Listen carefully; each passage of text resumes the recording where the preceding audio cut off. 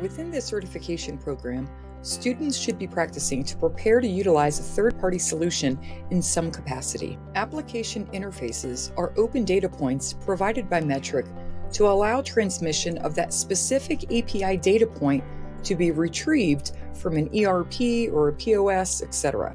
Here's why. Understanding how operators utilize third party systems is a foundation ensuring you have the infrastructure to be able to use them if and when there comes a time the operation starts implementing those third party systems. It's also important for the user to understand that bad data in is bad data out, and third party systems cannot protect the operation against these discrepancies.